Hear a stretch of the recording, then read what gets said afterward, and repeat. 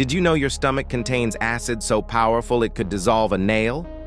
Most people think stomach acid is just for breaking down food, but that's only scratching the surface.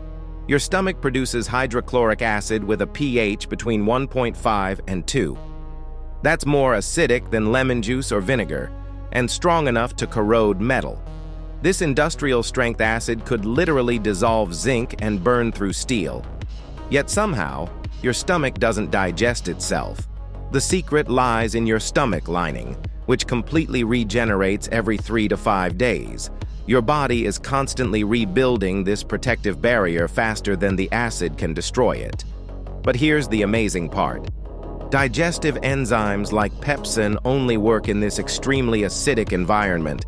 Without this corrosive cocktail, you couldn't break down proteins at all. So you're walking around with acid powerful enough to eat through metal, perfectly contained by one of nature's most incredible protective systems. Your stomach is basically a controlled chemical weapon.